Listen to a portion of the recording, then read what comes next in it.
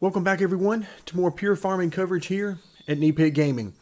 Today's video is all about the newest entry, the newest animal here in the pure farming 2018 world, and that is goats. So we're here at the location of one of two goat sheds here on the Montana map. So let's start by pulling up the map and we will zoom out so you can get an idea of where we are. So over here is the starting farm location. Here are your two starting fields. And where we are located is down by the same location that we sell all of our greenhouse goods. If you follow us on the uh, the gameplay series that we do here in Pure Farming, this is where we sell all of our greenhouse goods, uh, the tomatoes and peppers and so on. So that's where we are in the location for the very first goat shed. And if we go to completely on the other side of the map, to essentially as far north as you can get on the map, is the location for the second goat shed. Now, they are identical. The way they function is identical, but those are the two locations. You can see goat uh, shed number two is located right by the logistics center, and there is an orchard nearby as well. So that gives you some idea of where we are on the map. And if you look behind us, this is, there is the location where we normally sell our greenhouse goods. And then your creamery is back in the distance there. So very close to your starting location. And there you can see the uh, fodder that we're going to be dealing with here momentarily. So how do the goats work? Well, let's start out by purchasing the basic goat pen. $25,000. We'll go ahead and purchase that. And capacity is 10 goats. This is where my disappointment began with the goats. I thought, okay, there's going to be a, a basic pen. No problem. It's going to be $25,000. Let's upgrade. There's no upgrade. So there's only one level of the goat pen. You can only have a maximum of 10 goats. And you can already see as I move back into the circle, each of the goats cost $150, so we're going to go ahead and spam that purchase button and get our 10 young goats. Now, one of the questions I had was, what kind of goats are they going to be? Uh, I have some familiarity with goats from real life experience, owning some goats. And so when I saw these, I thought, um, yeah, those aren't the goats that I had. These more look like uh, Saanen goats. Now, I have absolutely no idea how these uh, how that name is pronounced around the world, but here in Tennessee, we pronounce it Saanen. At least that's the way I've heard it pronounced at goat sales. So there are our 10 young goats, and they work very similarly to the uh, cows in a lot of respects, but one respect, very important respect, they are very different, and I wish they were indeed the same. So we come over to our goat fodder and you can see it's $15 a piece. Let's go ahead and max out the amount of goat fodder that we can purchase. And you can see it's going to cost us $3,600 for 240 bags of that. So now you can tell it's really not cost us a whole lot of money uh, to get going. 25 grand for the goat shed, which by the way does look kind of nice. I wish I could get in there but it does look uh, kind of nice. One of the nicer uh, goat sheds I've actually seen. But then here on the side are the most important pieces that you're probably wondering about. Here is your slurry tank. So the goats will produce slurry. There is no manure. They will not produce uh, solid manure. But then we have our milk silos. So the goats will produce goat milk. Okay, excellent. So that leads me to believe that the goats, working the goats, will actually be a, a very worthwhile investment. Well, unfortunately, that's not the way it worked out. And to show you exactly how things are going to end up, we're going to cut now and we'll come back when these are fully grown. All right, we are back and it is now day four, as you can see in the top left-hand corner of the screen.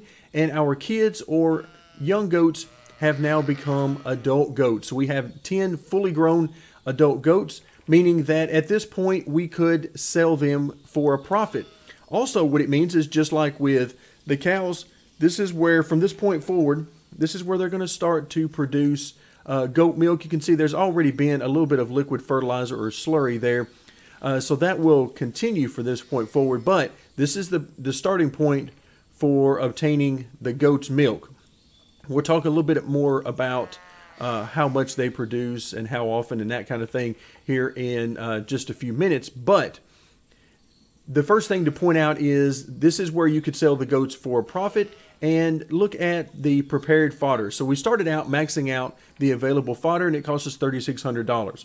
If you decided that you wanted to sell now, we've still got 92% of the fodder available. So it's actually, in all likelihood, cost us very little money uh, for this three day period for the goats to become fully grown and available for sale. So keep that in mind if you decide to, to uh, use this philosophy and keep the goats for the shortest amount of time to make a profit, then you won't have to deal with uh, purchasing fodder very much at all.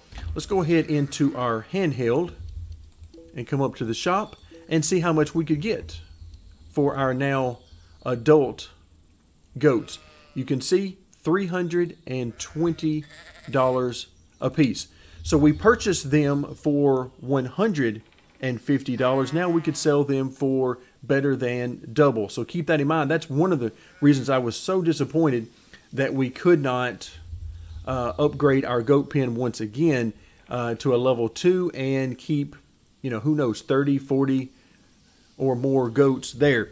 So very disappointed about that, but there is some money to be made there because the fodder is going to be uh, so cheap for the time period that you need to keep the goats, and the fact that the selling price is better than double what you pay for them. But the question remains uh, is that the way to go, or similar to cows, can we make a lot of money by keeping them well into their adulthood, uh, right up to the point where they become old goats, and simply profit off of the liquid fertilizer and the goat's milk? Well, we'll be back in just a moment to take a look at that very question. And now we are back on day 15. Now, day 15 is important because this is the final day that you will have adult goats.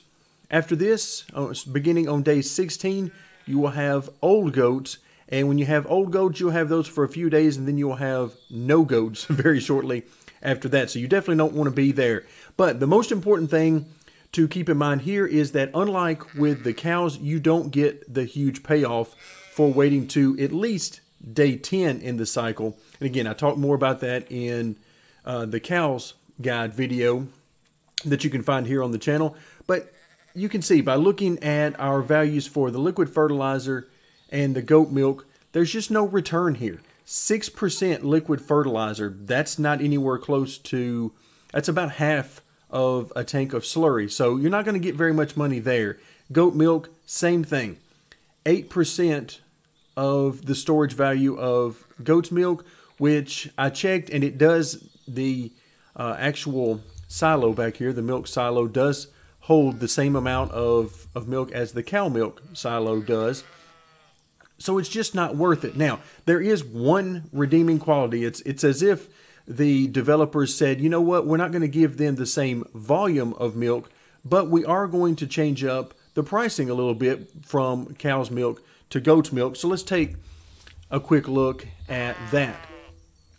so let's go ahead and go into the stock market and we'll move our way over to, of course, these values are always subject to change uh, in your game, so these won't be exactly what I'm sure you will find. But right now, cow's milk is bringing $593. And you can see it started out somewhere around $540. So that's just keep that in mind for a, a range.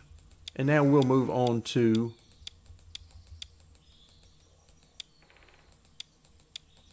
maybe. There he was. Went right past it. Goat's milk. So you can see it's not quite twice the amount of money. So you start out somewhere around 900 and $50. And you can see right now, currently, it's a little bit over a $1,000. So what they've done is they have attempted to get give you nearly double the price for the goat milk as opposed to the cow's milk. But the problem is the volume is simply way, way too low to be of any real uh, benefit to you in the game. So with that in mind, Uh, really, the only two reasons I can think of to have goats is number one, if you're like me and you just really like goats. Like in in real life, I don't have any goats right now, but I'd really like to have some more because I really like goats. That's one reason to do it. And then the second reason is they do provide a source of income, and particularly early game, they're fairly cheap to get involved with, and you can use a pretty high turnover rate and make a decent amount of money early game. But beyond that, uh, they're nice to look at, but there's not a whole lot of profit to be made there. Uh, particularly if you're thinking that you're going to hold on to them like you do with cows and have manure, slurry, and milk income to make in addition to selling off the goats once they uh, reach full maturity and on the verge of becoming old goats. It's just not there. The profit is not there. And at this point, I will remind you that this is a game. These are a brand new release to the game. So further updates, I'm sure, will be on the way, and who knows what type of profitability we might get from the goats in the future. If that changes substantially, then who knows? Maybe we'll be making another video and talking about how profitable the goats are. But for now, they are more of an eye candy type thing. And if you're like me, you want to keep them around just because you enjoy goats. But other than that, there's just not a whole lot there. That's going to do it for now. Thank you very much for joining me in our discussion today about goats. And stay tuned as we will continue our Pure Farming 2018 coverage.